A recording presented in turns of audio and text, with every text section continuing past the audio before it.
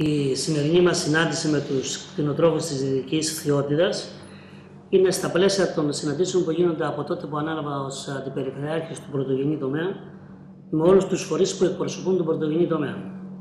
Ε, πιστεύω τέθηκαν τα προβλήματα τα οποία αντιμετωπίζουν.